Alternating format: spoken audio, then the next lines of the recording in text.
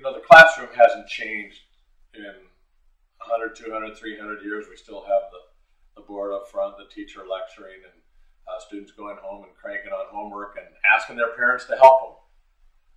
I'm very excited about the new Upside Down model where we use digital technology to record the best lecturers, the best content, the best videos, the best audio, the best teachers in the world online. The kids go home and view it online, either on their TV or on their iPad or even on their phone.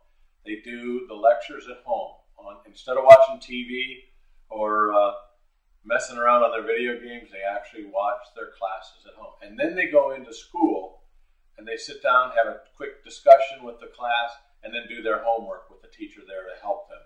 Because you know what? Us parents aren't real good at helping with homework anymore. And it's, a, it's really what the teacher is very, very good